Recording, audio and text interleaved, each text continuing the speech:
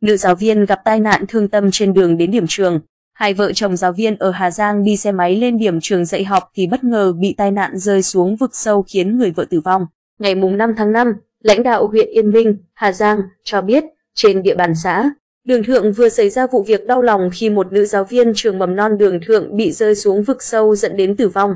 Vụ tai nạn đáng tiếc xảy ra vào khoảng 16 giờ ngày 3 tháng 5. Cô giáo Mai Thị Yến, giáo viên trường mầm non Đường Thượng, cùng chồng, cũng là giáo viên và con nhỏ, quay trở lại trường học sau khi kết thúc kỳ nghỉ lễ ngày 30 tháng 4 đến mùng 1 tháng 5. Do đường núi quanh co, dốc trơn trượt, xe máy của vợ chồng cô gặp sự cố nên đã rơi xuống vực sâu. Nơi xảy ra tai nạn cách điểm trường khoảng 2 km. Khi đồng nghiệp và người dân phát hiện đã nhanh chóng ứng cứu, đưa cô Yến đi cấp cứu tại Bệnh viện Đa khoa tỉnh Hà Giang. Tuy nhiên, do bị thương quá nặng, nữ giáo viên qua đời lúc 20 giờ cùng ngày. Chồng cô Yến bị đa chấn thương, hiện đang được tiếp tục được cấp cứu tại viện. Rất may cháu nhỏ không bị thương nặng.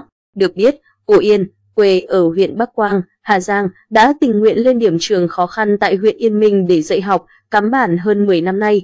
Ngay sau khi sự việc xảy ra, Ủy ban nhân dân huyện Yên Minh chỉ đạo phòng giáo dục và đào tạo phối hợp với trường học chung tay lo tang sự cho cô giáo Yến, đồng thời động viên gia đình sớm vượt qua khó khăn.